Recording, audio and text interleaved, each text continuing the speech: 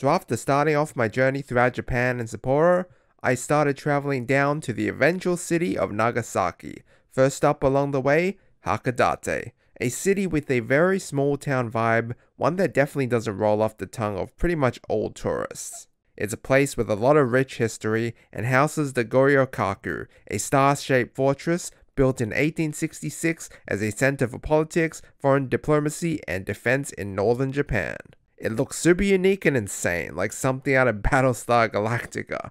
So on my first real day exploring Hakodate, I decided to go suss it out. Oh.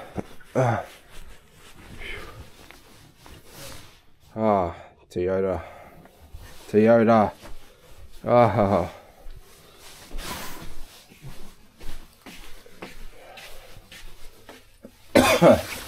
Last night probably was the roughest that I've ever felt. It is 2 p.m. Um, I'm fine. I'm a bit sick still. My nose is kind of starting now. Uh, and I just have shit stuck in my throat. I don't care about that though. The thing I'm down about is the fact that I lost my wind muff filter for my uh, Sony camera, which means that if I'm outside, like you won't be the audio will be scuffed, which is annoying. So I think until I get that, most of the shit will be voiceover. Uh, Alright, I'm gone. Okay, let's go.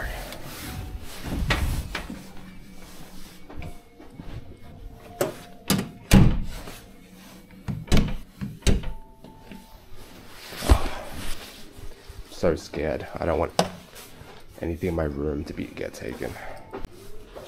All right. Ooh, Hakodate. I feel like once I'm outside, I feel better. Oh, ooh, it's cold. It said they said it was 15 degrees or 11 degrees today, but the weather just changes like that. It feels like one degree. So my time spent in Hakodate wasn't the grandest. I was a bit burnt out and sick, so I didn't make the most use of my two full days there. Although I was thankful that I was sick on probably the least important leg of my trip. And there were only really three things I wanted to do. Visit the star-shaped fortress, go up the tallest mountain, and try the ice cream, as I heard that the ice cream or dairy products were a must try even in snowy, cold conditions. First up, visiting the star-shaped fortress. Not before some food though.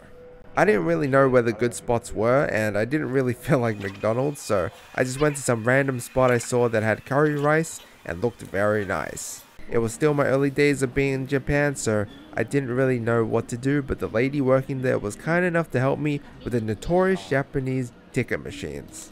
I was surprised there was no one there, maybe because it was just past lunchtime, because the food there was so good. One thing I loved about Japan was how organized everything was, giving you all sorts of different condiments and stuff. I ordered some curry udon noodles with pork katsu and rice, and it costed a thousand yen, which was roughly around 10 Australian dollars, which was so worth it for something as filling as that. The smaller towns or cities I noticed are a lot cheaper when it comes to food and other stuff, which makes sense I guess. So after the delicious first meal in Hakodate, I hit the road again.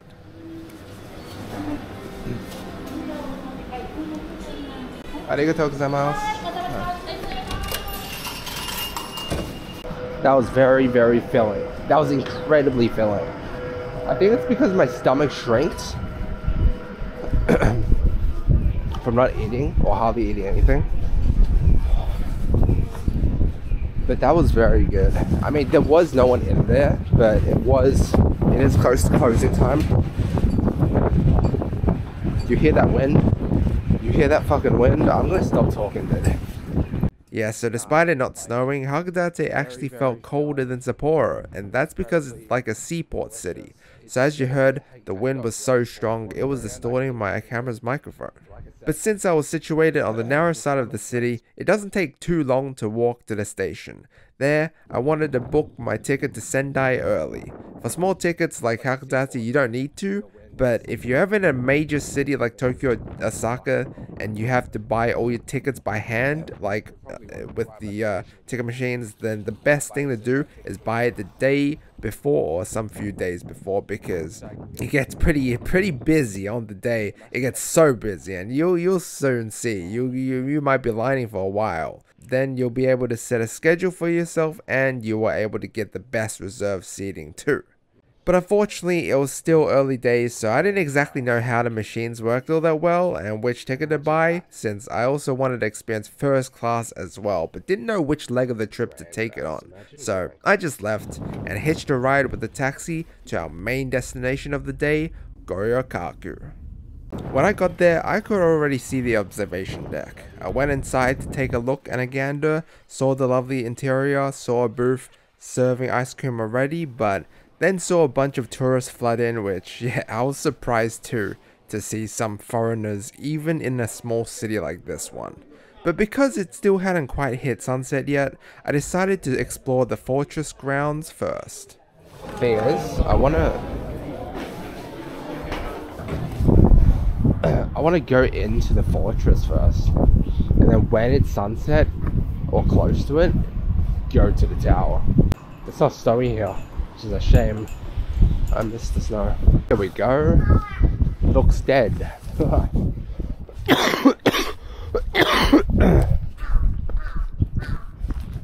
That's bad, eh?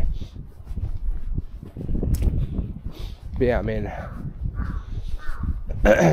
during the cherry blossom season, this place looks really nice. But during winter, oh, it's not snowing. Fuck. Dude, this place looks super cool during the snow time too. Like a layer of snow. I thought we would get that. Oh, wow. This looks nice. This is nice. Oh shit, damn! You can see the tower from here. I don't know if you see that or not. I'm using the action cam. Should swap to my mirrorless. But the action cam is just so conveniently good. Oh wow. Yeah, so unfortunately, it looked like it hadn't snowed in Hakodate for a while now, since there were no visible evidence of even snow melting, which was a shame. As you see here, this is what it could have looked like if it were snowing. I'm not going to lie, with Hakodate not snowing and just looking mostly like dead winter plains, definitely didn't make me enjoy it as much as I should have, as the snow really was a vibe in Sapporo. But oh well, it was still nice to step on a bit of history before we saw the epic bird's eye view of the place, which is what we came for. So we had to cross two small bridges to get to the main fortress, and even though it was kinda dead, it was still pretty scenic. Damn. We can go up here. No drone. Yeah, I wish I could bring my drone, but there's a lot of rules, and laws. But yeah, we gotta do oh shit, it's so bad. The weather. Oh fuck. It's so cold. Oh my god. This is nice though.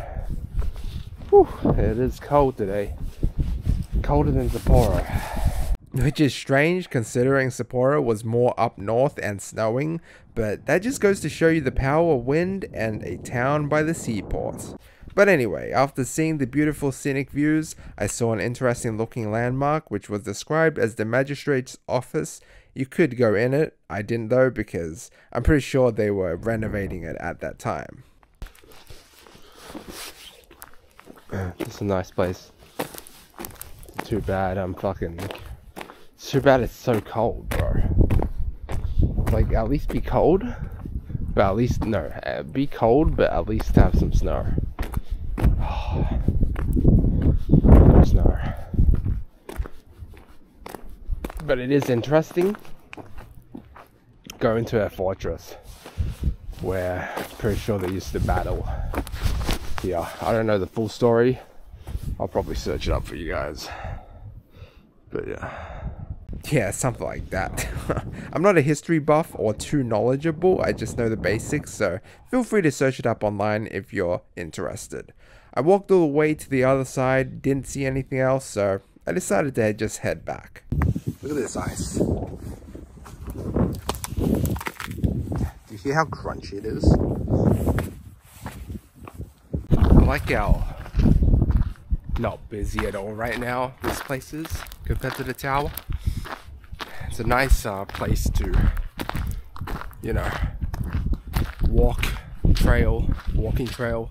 So with that being said, I headed back to the tower, got my ticket, and then finally headed up to the observatory deck. Even though I purchased my ticket online from Klook, I still had to exchange it for a physical ticket at the booth, so just keep that in mind. And up there, the views were spectacular. Full 360 views, interesting figures talking about the place. I didn't record it, but I also saw the staff attentively wiping down all the surfaces, very clean and organized, but the views are what you come for and they definitely do not disappoint. It's definitely not the best views in Hakodate, I don't think. I think Mount Hakodate has this beat obviously, but this is still a must visit in my opinion if you're ever in Hakodate because just like the differences between the Sapporo TV tower and Mount Moiwa in Sapporo, you get the same here. This place is really good for clear and closer views. But unfortunately it wasn't sunset yet and I didn't really feel like waiting all that long up there so I left after buying another keychain for my collection. I also felt really rough. The coldness and my sickness was really getting to me so I just decided to take a break. So yeah, I thought collecting keychains in every city that I go to would be a great souvenir for me and a great way to showcase the different cities that I had been to. And after a bit of a break, I headed back up again to see the night views. Alright, I bought another ticket. It's only 10 bucks, so not too bad. Um, but yeah. So once you're up there, you can't go down. Unless you buy another ticket. Oh, but I really want to see the night one too. So yeah. I didn't realize how fast it was to get up here. Like compared to many of the other places. Like the Otaru one was hell. At least I got to see the cool little elevator design again. when I got up there, it seemed I was a bit late to the party, but all I can say is $20 well spent today. $10 already seemed like a steal because places like this in a big city like Tokyo would cost $20. Just go to, to show how expensive touristy cities are.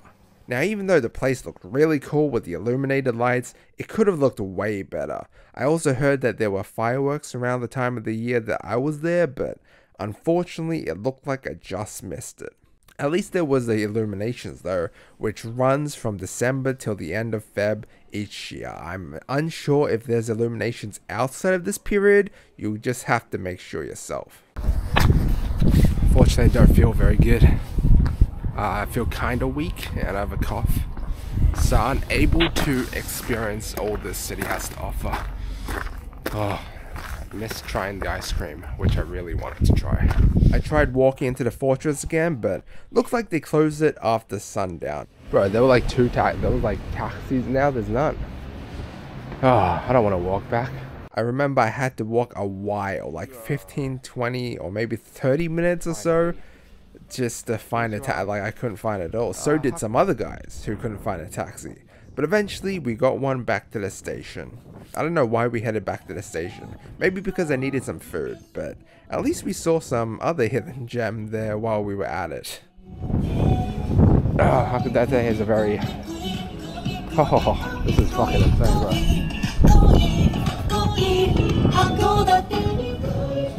Has a very olden, small city vibe. I love it.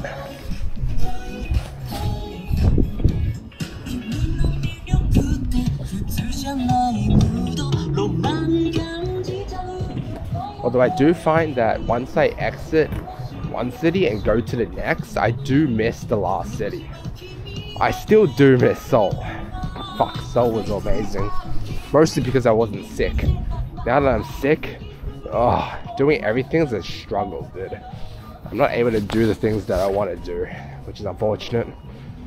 I think it's just because it's too cold. I'm not used to the cold weather. And it sucks at this place despite it not snowing, still is colder than Sapporo. this cough is so shit. Ah, but yeah. Gonna go to Family Mart, buy some stuff. I most likely won't go out to eat today. I just can't be bothered. And that is indeed what I did. I was feeling the full force of my cough. You'll hear a little bit about it later. and my body ached from the cold, so I just had to browse the Family Mart, and I swear it was no joke. One thing I missed so much about Japan looking back at it was the convenience stores, and after buying some of the essentials, I headed back.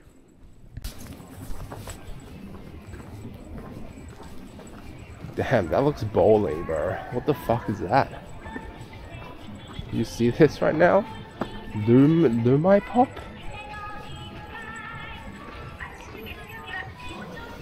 I swear, it's these small towns that are pretty sicko.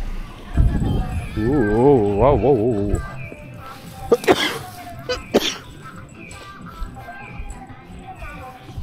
Definitely take a photo of this, dude. Home sweet home. I guess. Looks even better this way.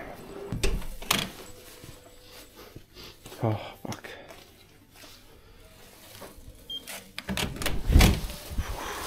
Oh.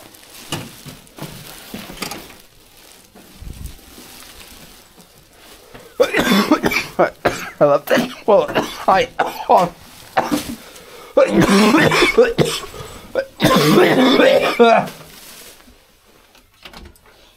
Oh my god, I'm dead. Oh, fuck me. I'm glad they do give you extra pajamas, which is good. Ah, oh, but I feel like complete shit. That's probably the worst I felt. And it's crazy how, I mean, like when you're in a shitter environment and when you're feeling shitter, the homesickness kind of kicks in. Like I kind of want to go home, and I miss my like I had a dream last night about my parents. it kind of sucks that I'm sick right now, but hopefully this will go away once I get to Tokyo. Man, feeling really bad. yeah, I caved.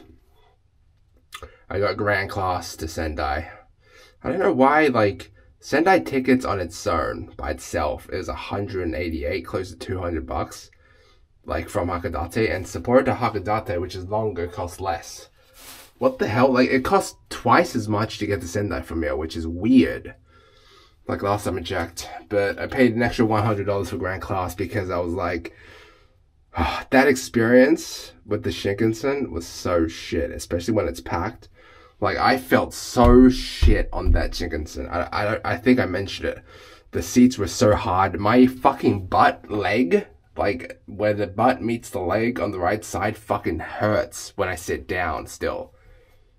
So I was like, I had to sit grand class eventually, and I decided to do it right now. Like I wanted to experience it at least once.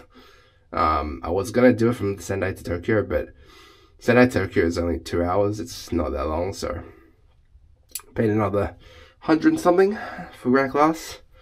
if they bought the right ticket. Jeez, you had to buy two tickets, one from Hakodate to Shin Hakodate, and then transfer. I don't know. But yeah, that's the end of this shit vlog, shit day. if I wasn't sick, I could do so much.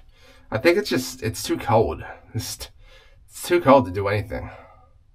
Which is uh, very annoying. I hate the coldness, but... I mean, Sapporo was cold too, but Hakodate feels way colder. And it's not even snowy, so it doesn't even look as cool. But yeah, see you tomorrow.